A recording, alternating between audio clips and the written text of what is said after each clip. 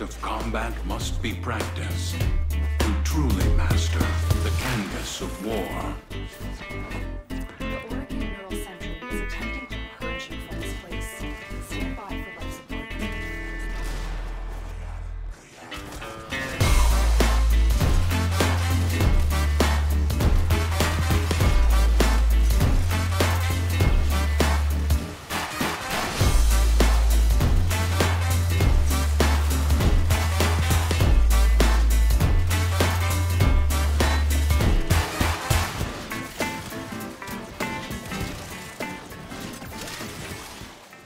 Alright guys, so I was asked about my Zaw build. So this is my golf club right here. So the first thing we'll go over is where you can find the Zaw parts and what you need to do to unlock it.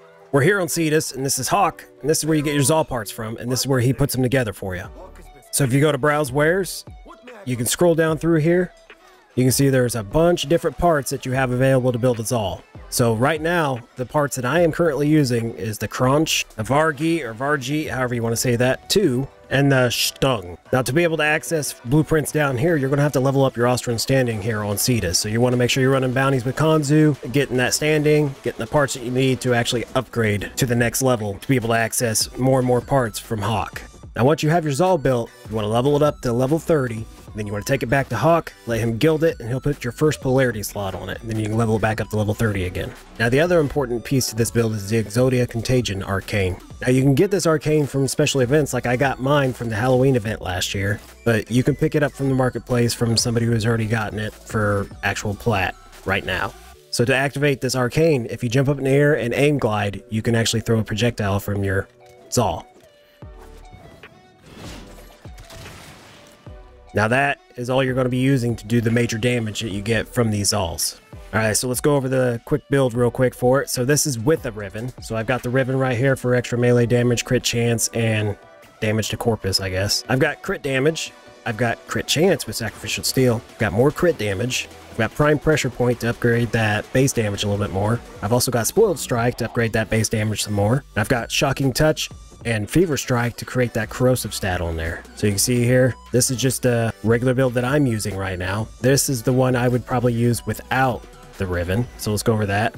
Everything is the same except for without the Riven, I'm using Boreal's Contempt, which you can get that from running the armor bounties. So you get plus 90% melee damage and 60% damage from status effects. So it's just some extra damage from that mod right there as well. Alright, so this is the build I'll be using right here, and I'll show you the damage it can do here in just a second, because there's a couple other things that I use that really increase the damage of this all big time. So I'm going to go up here, and on my Warframe Wukong, I've got this mod right here, Vigorous Swap.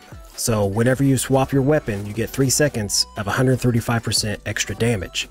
So whenever you're aim gliding, you're pulling out your secondary, and then you're going to swing your Zaw which will be your swap for 3 seconds and give you that extra damage boost. I've also got Arcane Fury on here, which uh, on critical hit, 60% chance for plus 30% melee damage. So that is pretty nice to have as well. So that's a little bit extra damage right there. Now if we go over here to my primary, I'm using primary dexterity on this. If I'm focusing on my Zaw and I want to use my Zaw for a run, these are the arcanes that I'm going to be using. So when I'm running my Zaw, I primarily focus on the damage from my Zaw. So I swap my arcanes here on my primary and my secondary to primary and secondary dexterity. So you can see here on melee kill, plus 60% damage for 20 seconds, and that stacks up to six times. And you get extra combo duration, which doesn't really matter because you're just going to be throwing out that projectile every single time. And just to go over real quick here, on my secondary, I've got the secondary dexterity as well, which does the same thing. So even extra, even more extra damage. Now that vigorous swap mod, I'm going to go over that real quick. So whenever you swap weapons, like I said, you get a 3 second damage boost for 135%. I don't have it all the way maxed out. I think it goes to 150% if you max it out all the way. But it's something I was playing with that actually gives you a nice little increase. But if you swap weapons, you can see up there in the top right hand corner, it starts counting down from 3 seconds, 135%. Now to activate Exodia Contagion, to throw that actual projectile, you're going to be aim gliding. You're either going to have your primary or your secondary equipped. And when you aim glide, it's going to pull out one of those weapons. And then you're going to swipe, and throw your projectile from your Zaw. Alright, let's show you guys the damage that this thing can do. You can see that we've got level 130 Corrupted Heavy Gunners, and my pet is doing its thing right there, activating the Viral Quills, I guess. I'm going to step back a little bit, and I'm going to launch this projectile.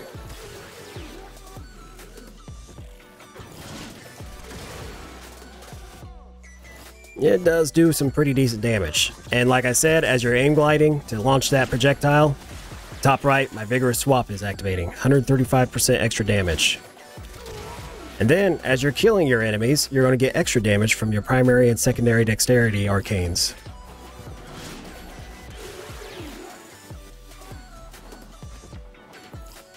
And also for fun, to get even more damage out of it, I've got Eclipse here on Wukong just to get that extra 225% weapon damage when I'm in the light. Alright guys, you get the point. Pretty overpowered, especially working in synergy with the, say, Eclipse ability or Roar, or you can use the Arcanes, but you want to make sure the one thing that you're going to have a problem picking up right now is the Exodia Contagion, but you've got some Platinum and you want to go pick some up from the marketplace, that's your best bet right now until an event decides to pop up. Other than that, I will see you guys next time.